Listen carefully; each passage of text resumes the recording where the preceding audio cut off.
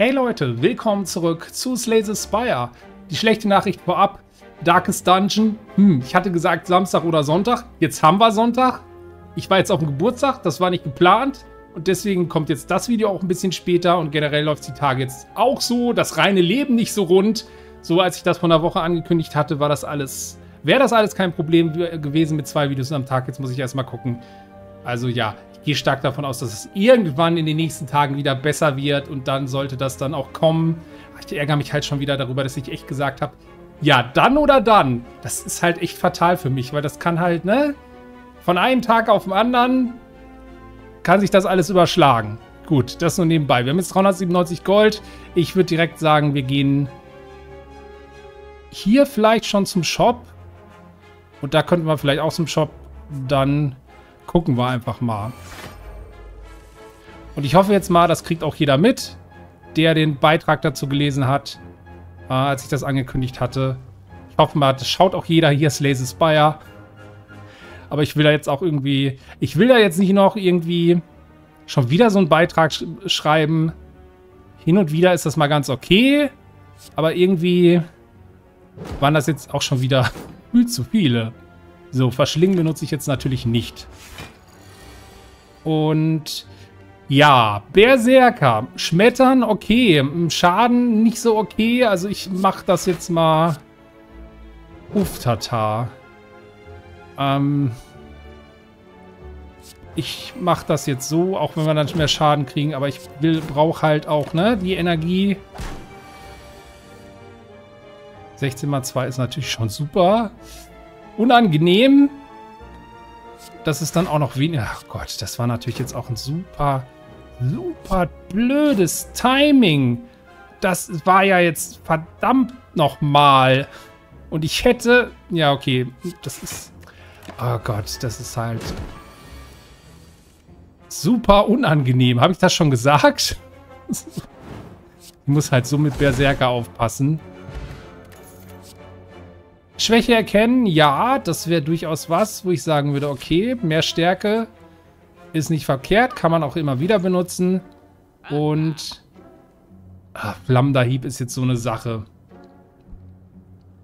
Klangschale will ich jetzt nicht nehmen. Toter Ast brauche ich auch nicht. Planetarium finde ich auch ein bisschen schwierig. Vor allen Dingen, ich habe schon 21 Karten. Ähm, gut, ich muss die halt auch nicht alle nehmen. Das wäre halt so eine Option, wirklich wenn ich nur Mist habe und dann halt noch die Kartenauswahl zu erhöhen. Flammender Hieb ist halt echt... Also ja, ne? Also ich könnte...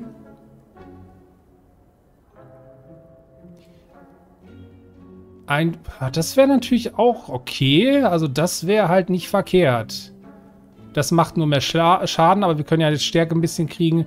Und Niederreißen wäre dann drei schwach und Schwäche erkennen, vier Stärke, ne, wäre halt auch noch eine Option. Deswegen bin ich halt jetzt echt am überlegen, nehme ich jetzt Flammender Hieb mit und gucke, dass ich die möglichst oft aufwerte. Aber ich behaupte einfach mal, ne, man sollte vielleicht gucken, dass man die Karte im ersten Akt bekommt. Auf jeden Fall schmeiße ich einmal Verteidigen raus. Ich, ich nehme jetzt Flammender Hieb noch mit. Ich habe jetzt hier auch so viel Gold. Äh, das kann uns erstmal egal sein. Verwundbar auch. Panikknopf. Damit habe ich nicht so gute Erfahrungen gemacht. Deswegen gucke ich da auch gar nicht mehr drauf. Metamorphose. Ja, zufällige Angriffe. Ist halt auch, ne? Es ist halt wieder Zufall. Ich spare mir das Gold lieber, dann gehen wir vielleicht da noch zum Shop und gucken einfach mal. So, wir könnten jetzt direkt mit Niederreißen starten und vielleicht auch schon schmettern. Aber ich würde trotzdem schauen, dass wir... Äh, können wir jetzt auch komplett blocken. Dann machen wir das lieber so.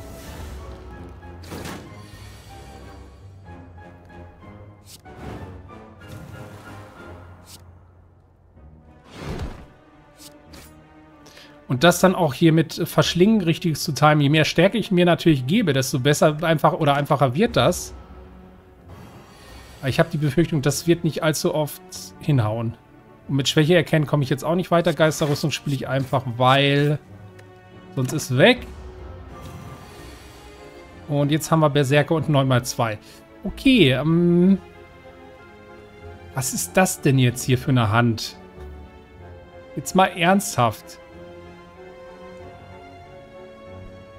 Das ist mir eigentlich zu viel Schaden, ne? Also eigentlich ist mir das echt zu viel Schaden und ich werde jetzt das hier nehmen und Feueropfer spielen. Weil ich wollte mir jetzt den Schaden überhaupt nicht mehr fangen. Und wir haben jetzt wieder Verdopplungstrank bekommen. Das ist super. Doppelschlag wäre natürlich auch sowas.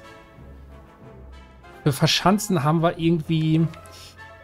Ja. Ist ein bisschen... Äh, schwierig.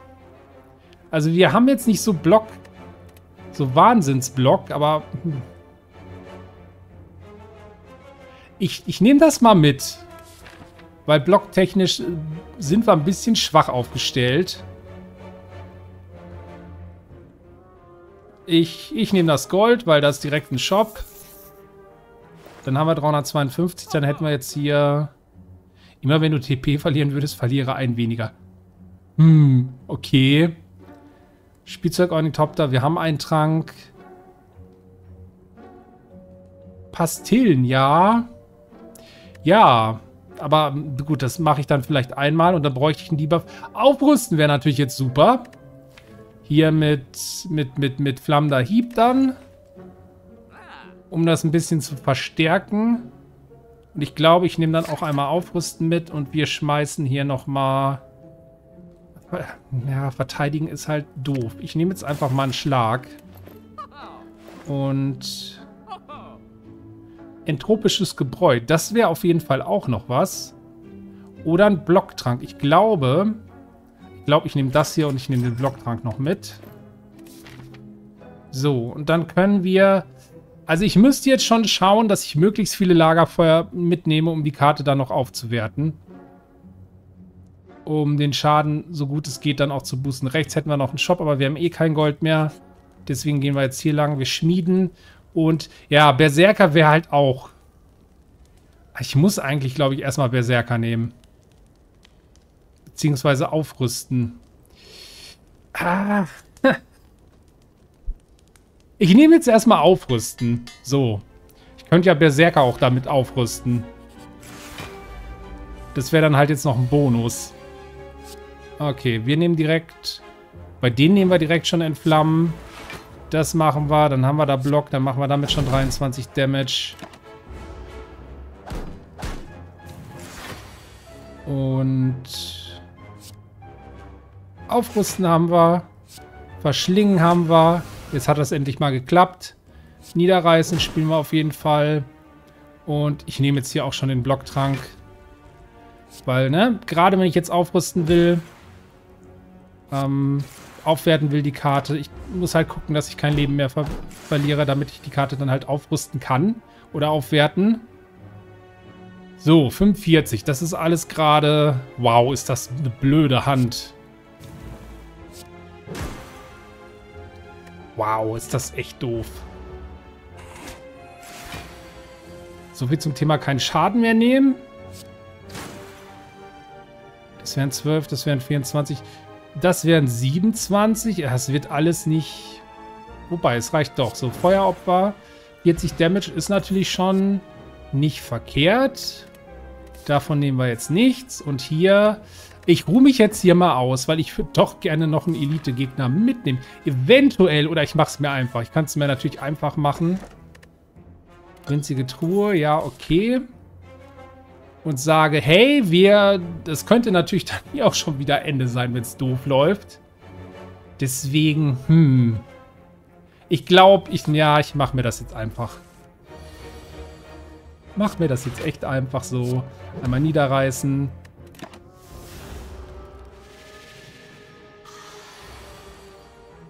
Schwäche erkennen. Jawohl. Perfekter Schlag. Verteidigen auf jeden Fall.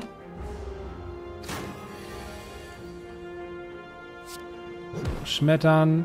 Verteidigen. Schlag.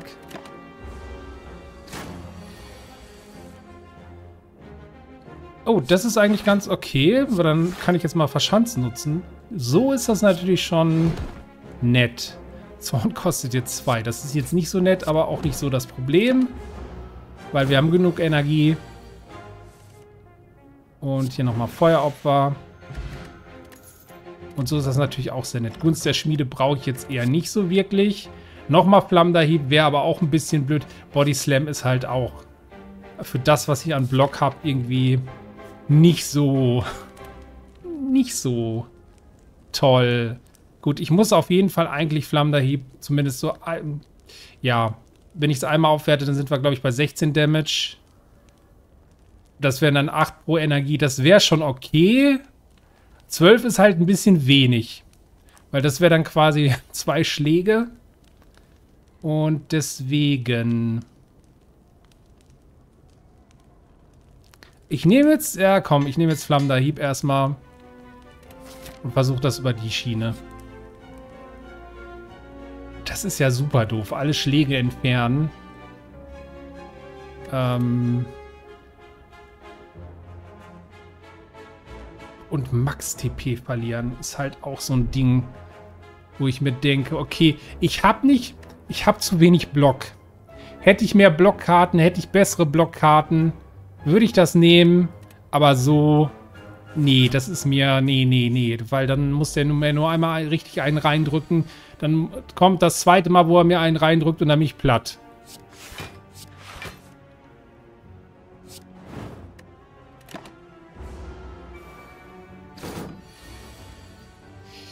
Okay, verschanzen ist ja auch super. Super, toll, brauchen wir nicht. Wir haben Schmettern und dann solltest du möglichst schnell drauf gehen. Vielleicht können wir durch dich hier gleich schon Max-TP bekommen mit Verschlingen. Das wären 10. Das wird dann auf jeden Fall schon reichen. Jawohl. Dann kriegen wir jetzt hier Aufrüsten.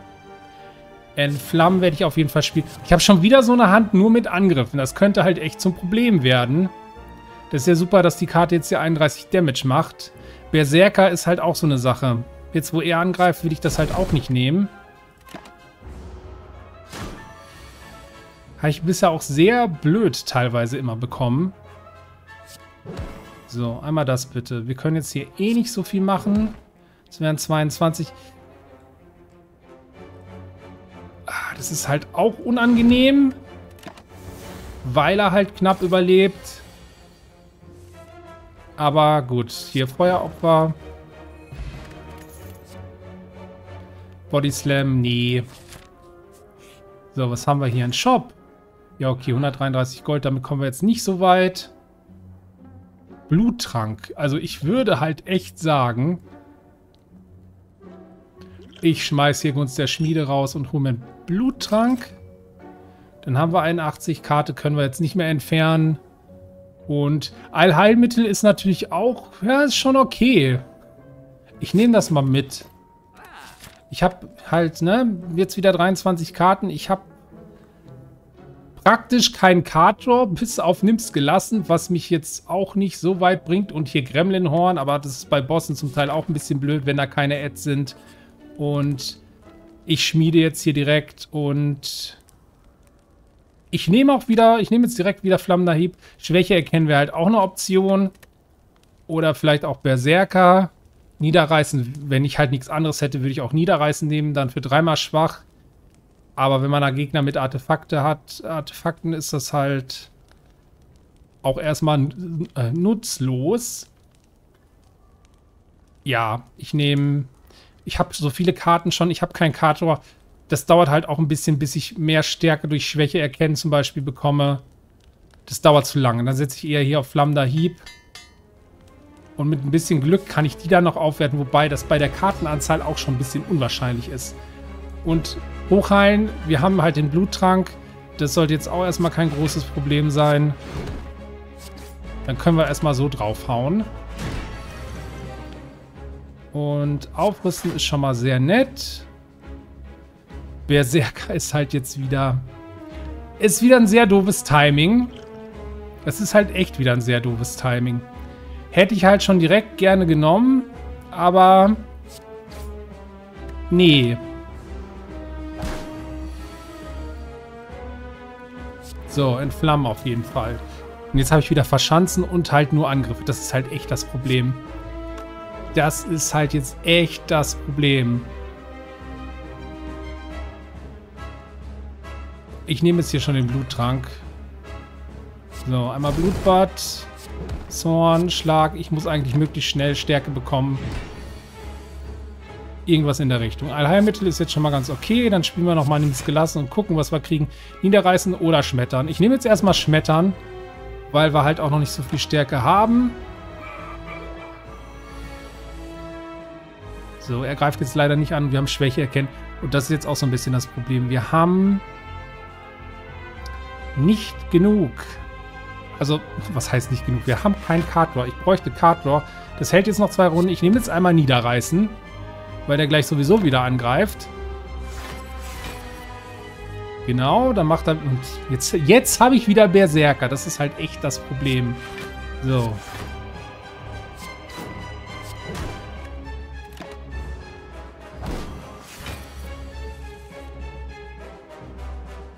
Was können wir denn noch kriegen? Verteidigen ist jetzt irgendwie nicht so das, was ich gerne hätte. Aber nun gut.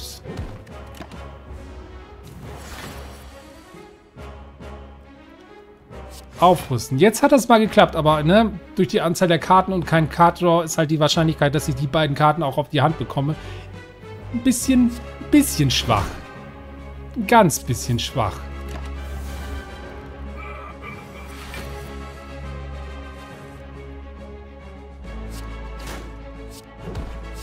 Aber damit können wir eigentlich erstmal noch ganz gut Schaden machen.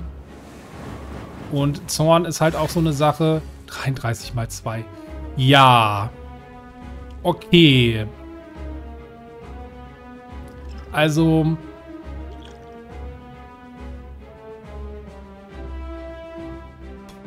Das ist halt... Ich könnte... Was könnte ich denn...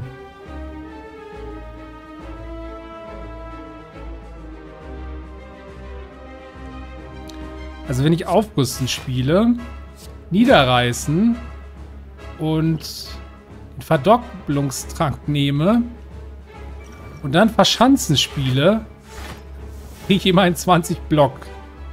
So, dann nehme ich jetzt entropisches Gebräu und wir kriegen Fertigkeitstrank, Schaden und wieder entropisches Gebräu. Oh, das ist ja super. Flammenwall. Ja, danke. Mann, das hätte auch anders ausgehen können. So, das nehmen wir. Ich muss halt... Ich muss Damage machen.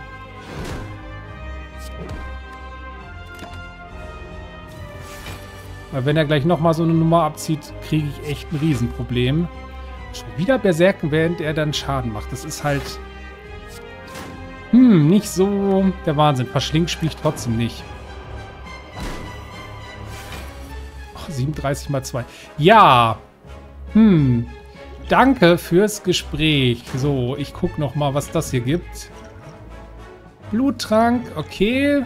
Stacheln, okay. Chaosdestillat. Ähm. Ja, ich krieg dich nicht platt. Also es wird halt... es reicht nicht. Ich kann halt, ne, und ich mache auch weniger, ich habe weniger Block hier. Ich habe eh keine große Option, aber es reicht halt nicht. Ja, genau das, was ich sagte. Zweites Mal so, so eine Sache. Beim ersten Mal konnte ich mich da noch durchmogeln. Aber da hat jetzt auch irgendwie Block gefehlt. Aber ich habe auch irgendwie keine Blockkarten großartig gesehen, ganz ehrlich. Ich habe diese ganzen Angriffskarten bekommen. Na gut, dann machen wir nächstes Mal weiter. Ich hoffe, ihr hattet ein bisschen Spaß. Das war es erstmal wieder von mir und bis bald.